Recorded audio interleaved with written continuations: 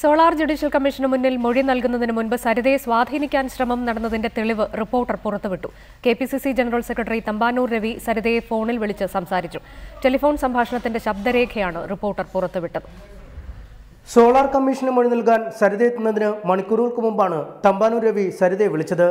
സുരക്ഷിതമായി മൊഴി നൽകണമെന്നതായിരുന്നു നിർദ്ദേശം. മുഖ്യമന്ത്രിയെ മൂന്ന് വട്ടമേ കണ്ടിട്ടുള്ളൂവെന്ന് മൊഴി നൽകണം. ദില്ലിയിൽ വെച്ച് കണ്ടിട്ടില്ല. ഡൽഹിയിൽ വെച്ച് കണ്ടിട്ടില്ല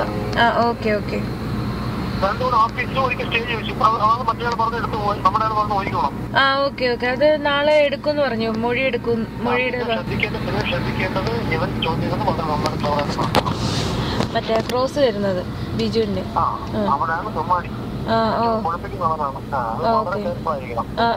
മനസ്സിലായി സാറേ. പത്രങ്ങൾ പഠിച്ച് ശ്രദ്ധിച്ചു വേണം മൊഴി നൽകേണ്ടത്. ആ ഞാൻ നോക്കിക്കോളാം ഞാൻ നോക്കിക്കോളാം. അല്ലാതെ തന്നെ ഏതോ ഒരു ഓൺലൈനിൽ ഫുള്ള് കൊടുത്തിട്ടുണ്ട് സാറ് സംസാരിച്ച് ക്രോസ് എല്ലാം.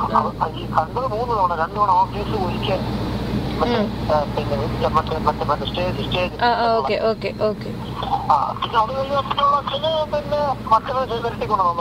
ആ ഓക്കെ സാറേ. വിവാദകത്തിന്റെ കാര്യത്തിലും സരിതയ്ക്ക് തമ്പാനൂർ വീട് നിർദ്ദേശമുണ്ട്. ലെറ്റർ സ്റ്റേ ചെയ്തു കൊടുക്കുന്നത്. ചോദിച്ചു അത് അത് പിന്നെ പേഴ്സണൽ കാര്യങ്ങളാണ്. അത് ഇതുമായിട്ട് റിലേറ്റ് ചെയ്തിട്ടല്ല എന്ന് മറുപടി പറഞ്ഞാൽ പോരെ. കേസിൽ സഹായം ലഭിക്കുന്നതിന് സോളാർ കമ്മീഷനിലെ സർക്കാർ അഭിഭാഷകനുമായി ബന്ധപ്പെടണമെന്നും തമ്പാനൂർ രവി സരിതയോട് പറയുന്നു.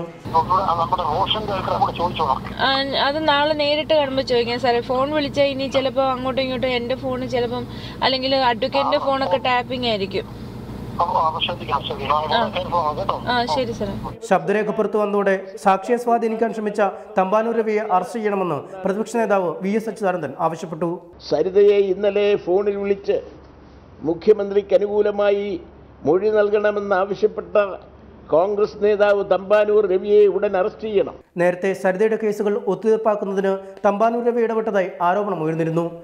ഇത് ശരിവയ്ക്കുന്നതാണ് റിപ്പോർട്ടർ പുറത്തുവിട്ട ശബ്ദരേഖ. M S Aneesh Kumar reporter Kochi.